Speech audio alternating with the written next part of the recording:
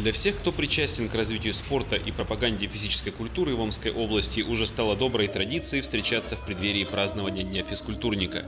Действующие спортсмены, ветераны спорта, работники спортивной отрасли и все те, для кого физическая культура является неотъемлемой частью жизни, собрались 11 августа во Дворце молодежи. Я очень хочу поблагодарить людей, которые сегодня пришли. Это прежде всего наших министров, наших почетных гостей и э, ветеранов спорта, потому что, наверное, когда вот мы все вместе, когда у нас единые задачи, наверное, мы делаем гораздо больше, чем, ну, может, могли бы каждый по себе. Я очень благодарен нашим спортсменам, которые тоже здесь присутствуют, потому что те результаты, которые были показаны в прошлом году на Олимпийских играх, э, на паралимпийских альтернативных играх, на недавно закончившихся сурдоолимпийских играх, позволяют нам ну, смело смотреть вперед, в перспективу, потому что есть у нас звезды, которые защищают и цвета, прежде всего, нашей страны и несут славу нашему региону. Работа каждого была отмечена высокими наградами, почетными грамотами правительства Омской области, благодарственными письмами губернатора и регионального министерства по делам молодежи, физической культуры и спорта. Также в рамках торжественной программы гостям праздника вручили памятные медали имени Сергея Манякина. И, наконец, свою заслуженную награду, статуэтку спортивной премии «Доблесть» по итогам прошлого года получила серебряный призер игр 31-й Олимпиады в Рио-де-Жанейро по полевой стрельбе Виталина Бацарашкина. Физкультура – это не спорт. Спорт э, робит здоровье, можно сказать. А физкультура, наоборот, его поддерживает. И это очень здорово, что а, люди отмечают этот праздник, что он есть, и что об этом не забыли. Сейчас праздников, особенно специализированных, как День физкультуры, очень мало. Поэтому это самое. Я отношусь очень положительно. И молодцы, что они вспомнили Манякина. Ну, я думаю, что, соответственно, что дальше надо работать.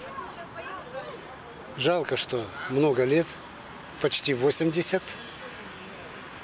Э, хотелось бы, чтобы было поменьше. Есть ребята хорошие. Я доволен ими. Триатлон. Это же у нас, он же недавно начал развиваться, триатлон. Его, он был, потом его запустили.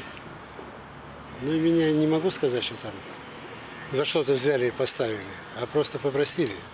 Возьмись, говорит, это самое, чтобы, чтобы он возродился по новой, чтобы, чтобы были результаты. Но результаты более-менее есть. День физкультурника – это само слово физкультура, что должно быть весело, должно быть очень хорошо все продумано, люди готовы. В основном у нас показательные выступления. Я-то начинала с техникума физкультуры, там, так что мы обязательно участвовали. И все на стадионе было. И, и на показательные все студенты принимали участие.